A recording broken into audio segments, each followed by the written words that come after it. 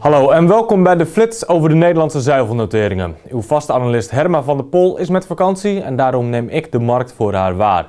Op de GDT van gisteren kwam naar voren dat de fundamenten in de zuivelmarkt nog niet echt veranderd zijn, waardoor de ruimte voor verbetering beperkt is. Dit wordt nog niet vertaald door de Nederlandse zuivelnoteringen, die een weergave zijn van de marktsituatie van week 44. Maar als we naar de Nederlandse noteringen kijken, dan zien we wel dat boter blijft staan op een prijs van 302 euro per 100 kilo en volle melkpoeder eveneens stabiel blijft op een prijs van 249 euro per 100 kilo.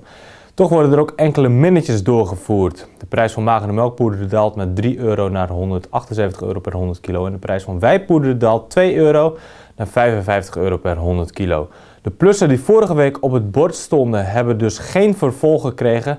Ja, en met het toch wat negatieve GDT van gisteren zijn de vooruitzichten voor de zuivelmarkt wellicht niet al te positief. Meer nieuws hierover kunt u lezen op boerenbusiness.nl.